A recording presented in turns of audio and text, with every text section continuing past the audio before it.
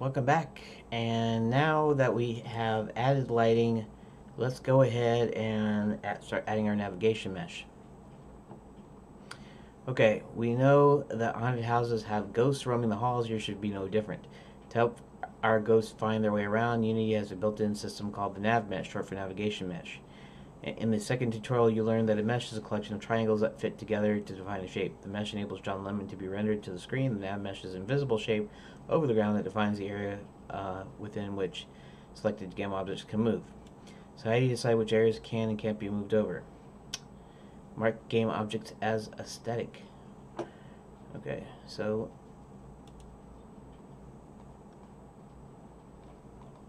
Okay, we'll do that like that. Okay. Uh, when game object is identified as static, Unity's navigation systems assume that it will not move. Your game's environment is made up of many game objects with many mesh renderer components. The combination of all the meshes from the mesh renderer components whose game objects are marked as static form the basis for the nav mesh. To mark your environmental game objects as static, in the hierarchy, select the level game object and the inspector enable the static checkbox. So we're on level and in the inspector the hierarchy, now in the inspector enable the static checkbox. Static. Dialog will appear asking whether you wish to enable the the static flags for all child objects as well. Select yes, change children. Yes, change the children. Children. Now the game object and all of its child game objects are marked as static, but you need to set one exception. There's a ceiling plane game object in the level design which is being used to cast shadows. If you include this in the bake, the ghost might end up walking on the ceiling. As spooky as that sounds, it won't work for this game. Hierarchy window expand the level game object and its children. Okay. And um, level corridors dressing ceiling plane. Levels corridors dressing ceiling plane. Okay.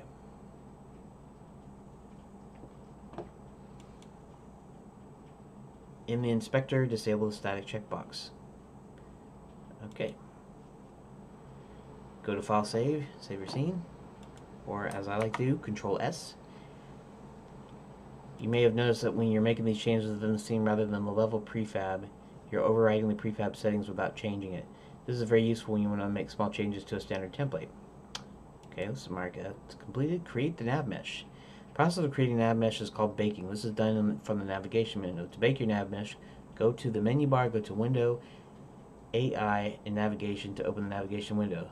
The window should dock itself within the spectrum window. If it doesn't, drag it and dock it there. Okay, so Window, uh, AI, Navigation. And it does.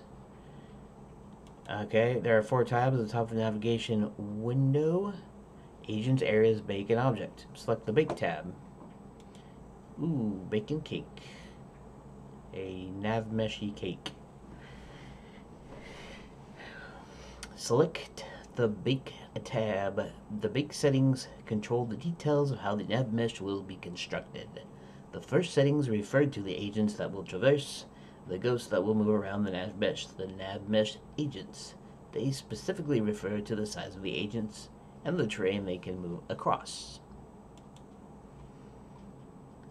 The only setting you need to adjust for your game is the agent radius. The ghosts roaming the haunted house will be smaller than the default. Change the agent radius to 0.25. 0.25. Select the bake button at the bottom of the window. The bake process will take from a second to a few minutes depending on the power of your computer. When it finishes, the environment in the scene window will be covered in a light blue mesh. This is the area of the environment that the ghost will be able to move around. So let's um, let's control S. Let's um, that's not what I want to do. That's what I want to do. And I just want to see it a little bit better. And let's back up just a tad and let's hit bakety bake. Ooh, everything is walkable. Uh, okay. The nav mesh will only be visible when the navigation window is open and active. If you switch to the inspector tab, the mesh will disappear from the scene view. Don't worry when you can't see the nav mesh still there. Remember to save your scene and avoid losing any changes. Okay, so control S. So if I go back to the inspector, it's gone. If I go back to navigation, it's there. Gone, there, gone, there, gone, there. And I got some sort of moth or something. A bunch of moth lately. Little little bugs lately. Lately. Okay.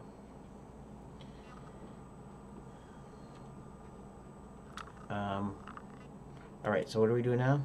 Summary. In this tutorial, you added an engaging environment for John Lemon to escape from and lit it appropriately. You also baked a nav mesh so enemies will be able to move around the environment. Your game is starting to take shape and look good. Now it's time to get the camera moving and add post-processing effects that will make everything in the scene look even better. Mark step as completed. Meh. Meh.com. Okay, so let's go ahead and continue the next step because I'm not done. Um, I'm not done here. So now we'll have the camera. See what happens when I hit play again. Okay, nothing happens, which is fine.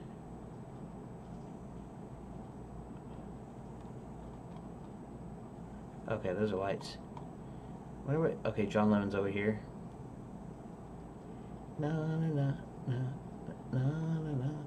It's not a moon. It's not a moon. It's not a moon. Sorry. I was listening, like I was listening to that song. I said, you know, it's not a moon.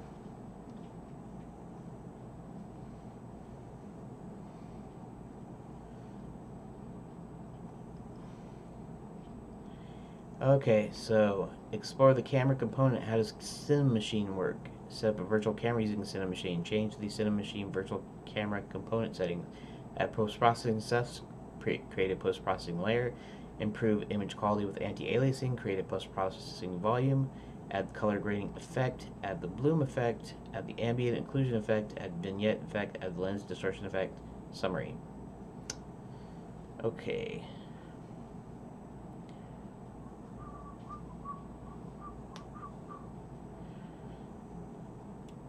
Summary, now that you've created a player character and environment, it's time to think about the camera for your game. In this tutorial, you will explore the camera component in Unity, set up a virtual camera using Cinemachine, add a range of different post-processing effects. Once you've completed this tutorial, your camera will be set up and make the game as visually interesting for players as possible. Exploring the camera component previous tutorial, created a level for your game. The character can now walk around the scene, but this means that sometimes he wanders away from the camera. In this tutorial, you adjust the camera settings to make sure this doesn't happen. Scenes in Unity are made up of game objects, which in turn have a collection of components attached to them. The way that the scene is viewed by players is constructed the same way. Okay. Sorry, I'm a little sleepy. It's getting towards bedtime a little bit. To view the scene scene, a game object in the scene must have a camera component. When the new scene is, cre is created, a game object is added to the main camera. Um, here, let's expand this out a little bit. Um, the scene is created, a game object is added called main camera, which has a main camera component, has a camera component. There's all the stuff in it. The camera points to the game object's z-axis, MBJ is exactly like all other game objects. In the scene view, you can see gizmo representing the camera's frustum.